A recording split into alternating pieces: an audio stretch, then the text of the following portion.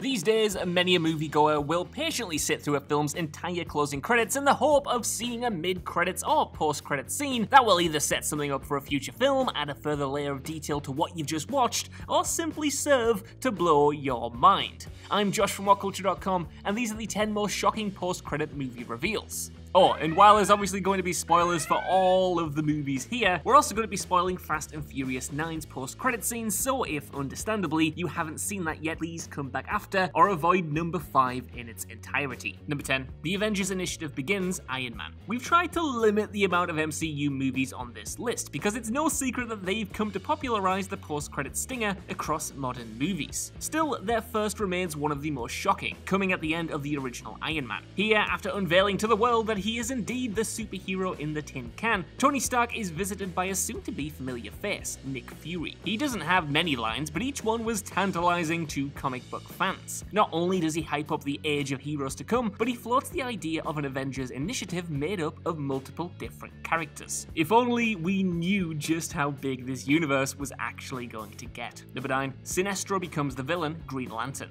Sure, we all know now that Green Lantern is an absolute stinker of a movie, with star Ryan Reynolds even having poked fun at the picture, but more on that later. Still, one of the extremely few bright spots of the film came once the end credits had started rolling, and no, it's not just because it was now finally over, with audiences getting a short scene showing Sinestro fully embracing the dark side. Given how that character has long been one of the greatest villains in DC Comics and has continuously battled the Green Lantern Corps, it wasn't necessarily so much of a huge shocker to see Sinestro take his steps fully towards villainy in the post-credits scene here, but it was more the shock of seeing a genuinely brilliantly done moment in a film so full of terrible, terrible scenes. Number 8. Tails teases a sequel, Sonic the Hedgehog. The initial character design for its titular speedster may have raised plenty of eyebrows, but Jeff Fowler's Sonic the Hedgehog turned out to be a whole bunch of fun when it finally raced to the silver screen early last year. Seeing the Ben Schwartz voiced Sonic teaming with Donut King and Pretzel Lady to battle Jim Carrey's maniacal Dr. Robotnik made for a ridiculously engaging, entertaining watch, especially for those who have been enthralled by Sonic since his Sega Mega Drive slash Genesis days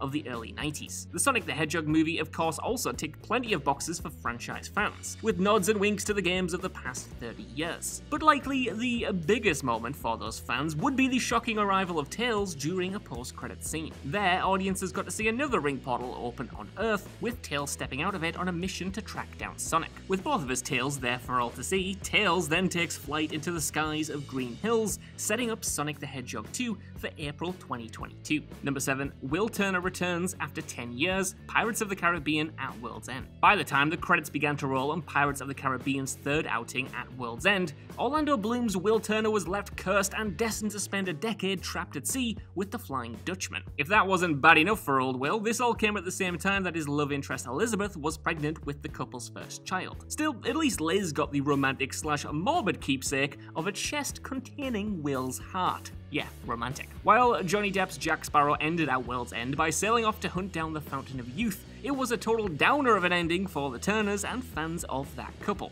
That is, unless you stuck around to watch the picture's end credits. In a surprising move, at World's End's credits dropped in a scene set 10 years in the future with Elizabeth and her son Sean waiting cliffside as Will surfaces on the horizon and makes his way home for a heartwarming family reunion. While the franchise's next outing would ignore the Turner clan entirely, a tentacle-faced Will and his son Henry would be front and center for the fifth entry in the series, Dead Men Tell No Tales. Number 6. Andy finally gets his revenge, Curse of Chucky. Initially pegged as a reboot of the Child's Play series, 2013's Curse of Chucky ended up being a sequel that served as a soft reboot for the property. With poor Nica Pierce having been terrorized by Chucky, Curse ends with the infamous doll being suffocated in a plastic bag. From there, cue credits. For horror fans, this one could well be the most rewarding post-credit scene on this list. Not only was it somewhat of a shock to actually get a post-credit sequence, it was a brilliant slice of welcome fan service to bring back the series' original protagonist, Andy, and then have him seemingly kill off Chucky for good. Making this even sweeter, it was framed as if Chucky had got the jump on Andy here. Instead, the initial victim of so much of this good guy's sinister behavior was well and truly prepared for this seemingly final battle. While it's implied in this post-credits moment that Andy has finally put Chucky to rest, 2017's Cult of Chucky would explain how Andy had spent the past four years brutally torturing his one-time friend till the end. Number 5. Han confronts Shaw, Fast and Furious 9. While the rest of the movies featured here are at least a year old, Fast and Furious 9 hasn't even been in cinemas for a week as of this writing. However, one of the biggest talking points of F9 is that the shocking death of Han in Tokyo Drift slash Fast and Furious 7 was all a ruse, with Han faking his death with the help of Mr. Nobody. Given how this character was supposedly killed by Jason Statham's Deckard Shaw, many fans were quick to ponder what plans Han will have for the man who supposedly killed him in an act of revenge. But they were quickly put on the back burner because hey, Jason Statham actually isn't in F9, so I guess that's a topic for another day. Only it isn't, for the post-credit scene of Fast and Furious 9 shows Statham Shaw smashing up some poor fool while chatting about a flash drive. After a knock on the door, there's the mouth-watering prospect of Han just stood there with his best pissed off face on, as the credits then kick back in. Number 4, Deadpool's fourth wall-breaking epics, Deadpool 1 and 2. These are two very different credit scenes, but they're both distinctly Deadpool. The first sees Ryan Reynolds' regenerating degenerate pulling inspiration from Ferris Bueller's Day Off, telling the audience to please just go home, there's nothing to see here. Attempting to then subvert the huge sequel teasers in similar movies, Wade just casually drops the fact that Cable would be along for the ride the next time out. Deadpool 2, however, goes absolutely insane with its credit stinger. This comes in the form of a montage of the Merc with a mouth traveling through time to avert certain wrong, like killing the X-Men Origins Wolverine's take on Deadpool, shooting Ryan Reynolds as he reads the Green Lantern script, and even toying with the idea of killing an infant Adolf Hitler. It was positively bonkers, and maybe even better than the film itself. Number 3. The Entire World is Infected Rise of the Planet of the Apes.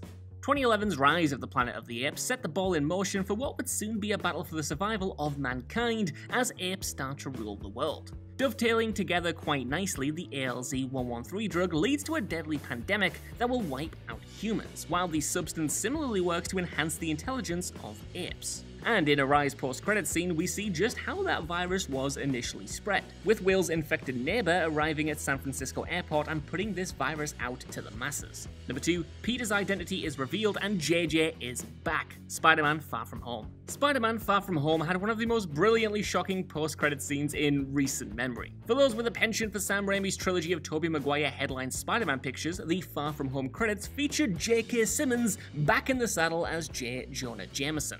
While that in itself was phenomenal for Spidey fans to see, it wasn't quite as welcoming a proposition for Tom Holland's Wallcrawler. That's because, unfortunately for Spider-Man, Jameson and his DailyBugle.net platform beams out a report showing conveniently edited footage of old Webhead's final battle with Mysterio. With Jake Gyllenhaal's Quentin Beck having framed Spidey for both the drone attack on London and the murder of Beck, the real gut punch waiting around the corner is that this footage reveals that Peter Parker and Spider-Man are one. With that, the cat is well and truly out the bag. Peter and his nearest and dearest are immediately compromised, and MCU fans are now eagerly awaiting how this all plays out moving forward. Number 1. The Survivors Are Doomed, Dawn of the Dead 04. To some, Zack Snyder's 2004 take on Dawn of the Dead is just as good, if not better, than George A. Romero's 1978 original. That some, of course, would be our very own Ben Roy Turner, but there's surely others out there of a similar mindset. The point being that Snyder's Dawn is a damn fine movie, even if you don't agree that it quite matches up with Romero's iconic 78 picture. In terms of the figurative and literal flesh and bones of the 2004 Dawn, though, it's a tense, twisted zombie offering with plenty of bite.